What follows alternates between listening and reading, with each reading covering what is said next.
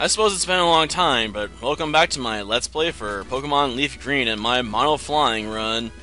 And it's time to take on Lorelei, the Master of Ice, and one of the greatest pains in my backside. Problem with a flying team is they just don't take ice attacks very well. At all. Um, it's one of their few major weak spots, and quite frankly, she can hit hard and often. Um, I got no real counter for it either.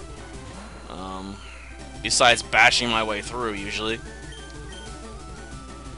And hoping Ancient Power works out in my favor and gives me a super boost. Yeah, I'm probably dead. I'll actually survive that. Okay.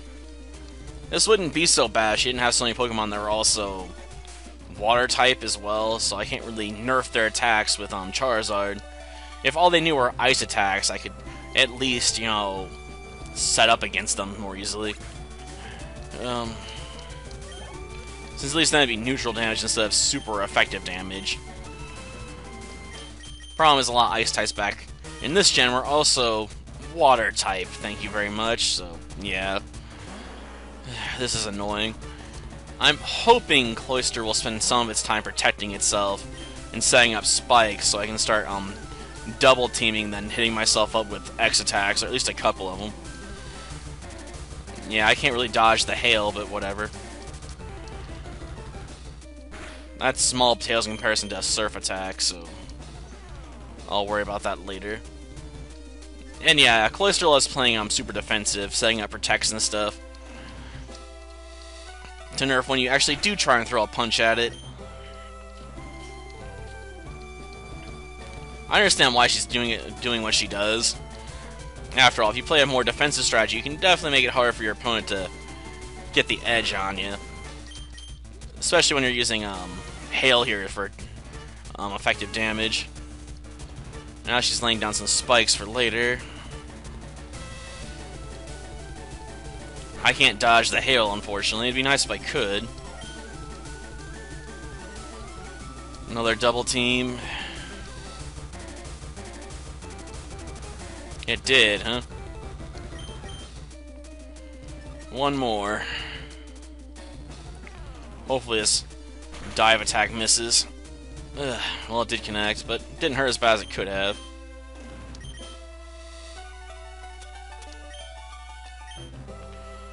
Um, yeah, I'll go with it.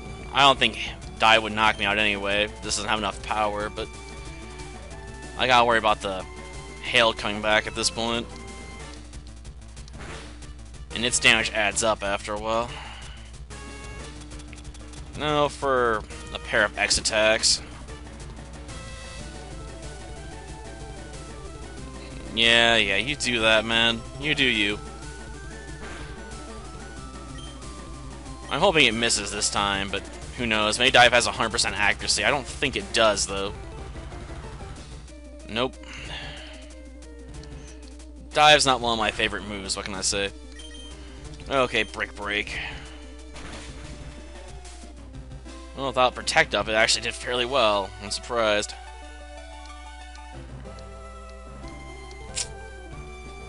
Well, what am I gonna do? Do I want to use another X attack? Well, I suppose I could.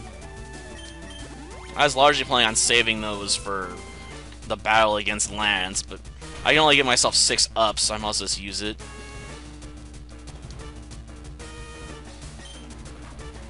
Gosh darn it. Despite how evasive I am, I'm still getting pounded here. It sucks. Ugh. I mean, I figured with so many um, double teams in play, I'd basically just be dodging everything like a evasive goddess or something, or I guess this case, fiery god. But no, I'm still getting punched in the face. Gosh darn it. Well, with three ups on my attack stat, I might be able to just punch this thing out of existence with Brick Break, to be honest. Lapras is probably one of our most annoying Pokemon. Well, outside of Slowbro. I don't even know how that fits into our typing scheme at all, considering, you know, it's not technically an ice type. It's a water psychic type. Sure, he can learn some ice moves, I'm sure, but still, it's not really fitting her typing scheme. But I guess whatever works for you know? I guess originally they're all supposed to be, you know, dual type masters or something, which is why you got Agatha with Ghost and Poison and stuff. Okay, now what to use on you? Let's see, probably Aerial Ace. If you're Ice Psychic, I could just throw Brick Breaks and not worry about it. Ooh, critical hit, sweet. Haha, Slowbro's down for the count. And that leaves Jynx. Ice Psychic. And the evolved form of one of my favorite baby Pokemon, because let's face it, Yuki Ono's been carrying me in the Gold Run, for the most part. Well, I figured either way is neutral damage, so I might as well just go for it. They shouldn't, huh? Well, they are, so deal with it.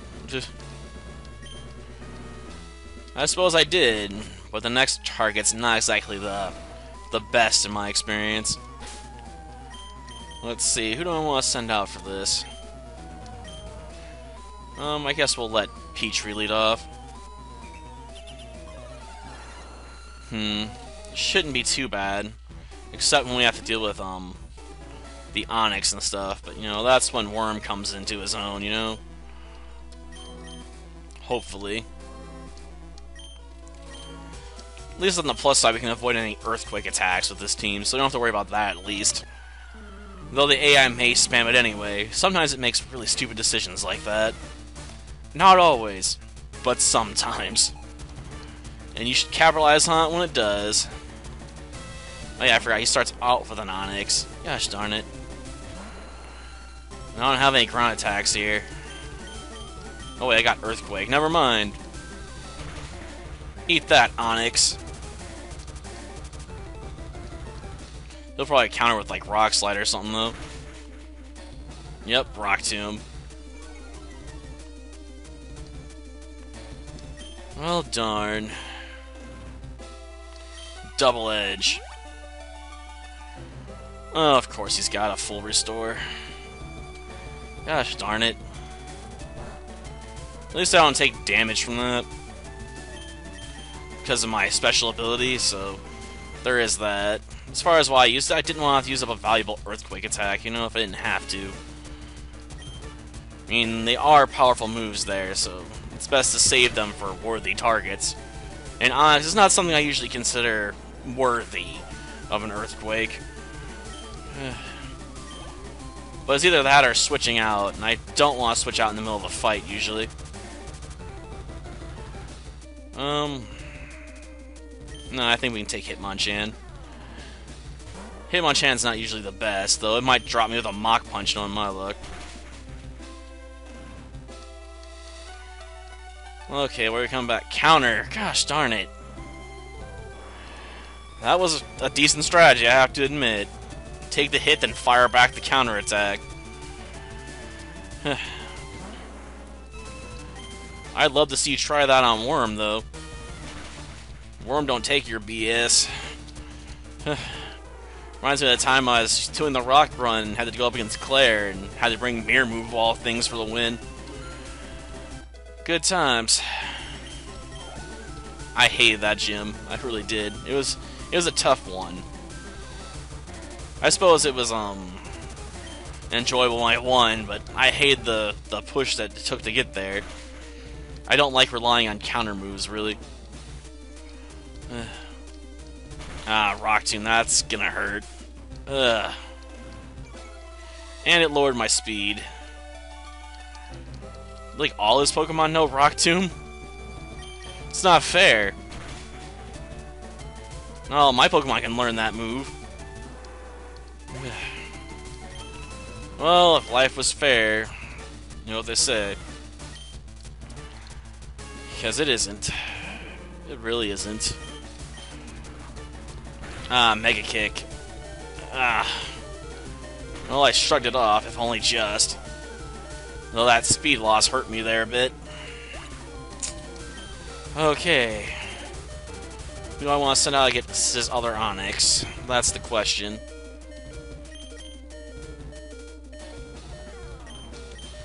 Well, I want to get my speed boost back, so I guess we'll send out Monarch. That's one way to get rid of the effects of Rock Tomb, after all. Double Edge, huh? Why not Rock Tomb? It would have been a better option. I'm not even kidding about that. Or maybe this Onix doesn't have it. Well, darn. Monarch just slaughtered that Onix with the Giga Drain. Go Butterfree, you got a kill. I honestly wasn't expecting that. I didn't think Butterfree would earn any kills against the Elite Four. How could you lose? Because I had a Butterfree. And it just ruined your day, man. Okay, let's open up our bag of tricks. Gonna have to use up a revive here. After all, Petrie still has some fight left in him. Sort of a shame I have to use up one of my better healing items like that. You know, this giving up the revive, but, you know, whatever. It's a sacrifice I'm willing to make. Okay. Well, that'll do it for this episode. Next time we'll finish off the remaining Elite Four members. Until then, see ya.